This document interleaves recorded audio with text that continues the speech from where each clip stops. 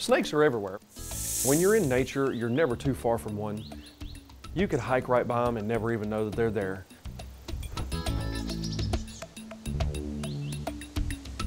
They're not there to try and get you. They have a job to do, and their job is to help keep nature in check.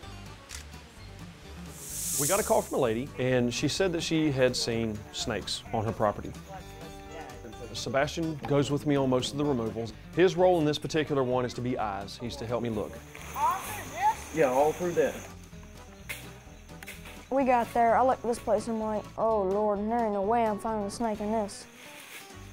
From talking to her on the phone and the description that she gave, we knew she had some copperheads. Copperheads are extremely good at blending into their environment. Copperheads, they look like leaf litter. If you're walking by and you're not looking for them really hard, you will not see them. Now this right here is a copperhead. Look at how beautifully marked this thing is. And even moving, look how well he blends in. They're absolutely gorgeous, gorgeous animals. And they do so well at camouflage.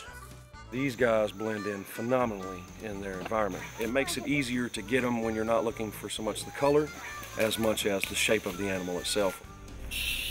There's many species of venomous snakes, but they all fall into a category. You have colubrids, you have elapids, and you have the viper species. I have a venomous minder that is right over there in that black thing.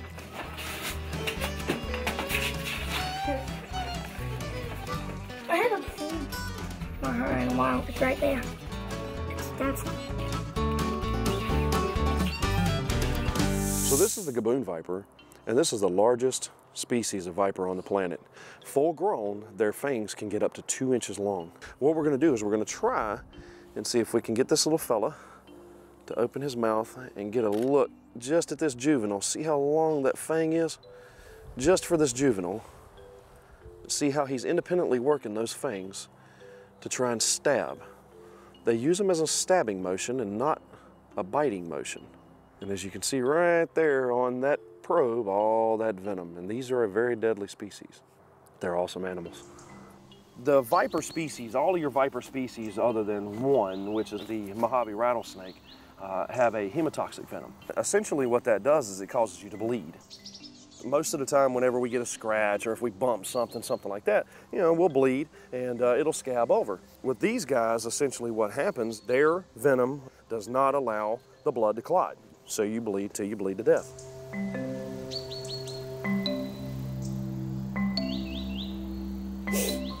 Yes.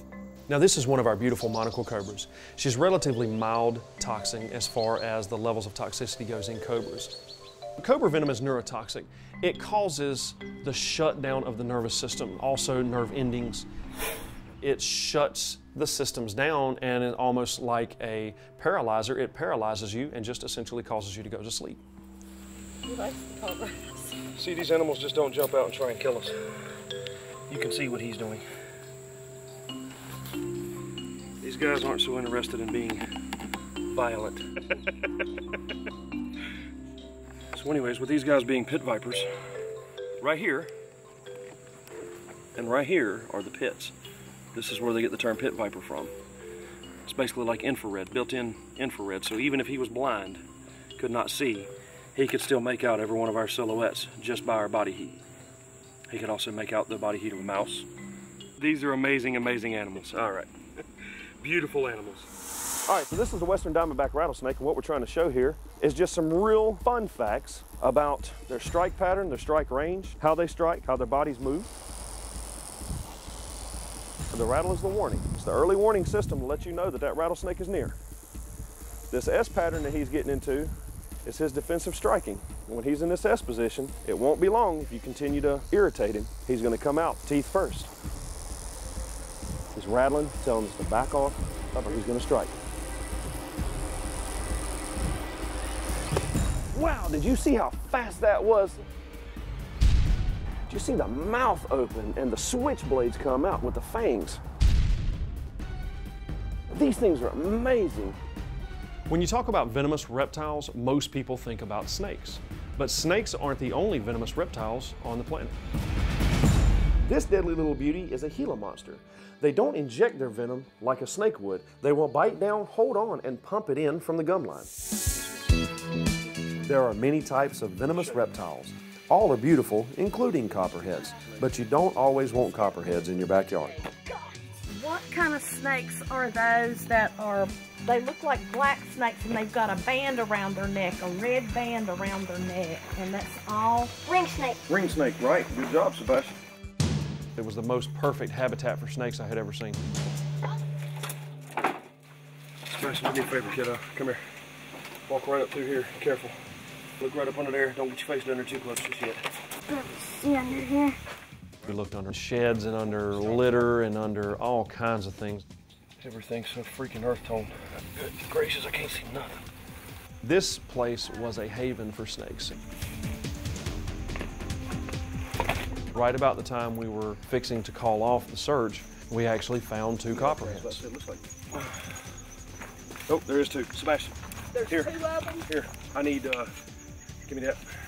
Usually when we go out and do a snake removal, we don't find the animals. And at this particular place, we shouldn't have found them, as many places as there were for them to hide.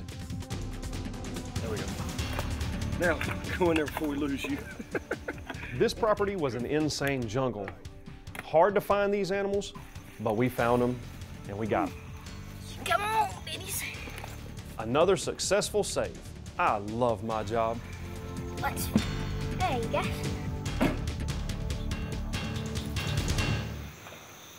you ain't that tired, boy. We still got a lot of work to do. I'm going home and I'm taking a nap.